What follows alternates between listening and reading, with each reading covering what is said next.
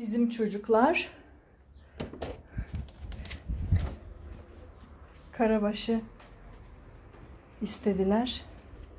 Onlar için karabaşı balkondan aşağı atacağım şimdi.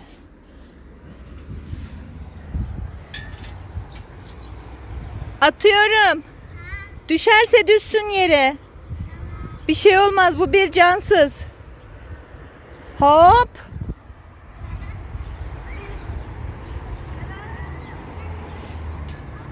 Mutlu oldunuz mu? Mutlu oldunuz mu? Hadi bakalım. Şimdi değil eve götürün onu evde oynayın.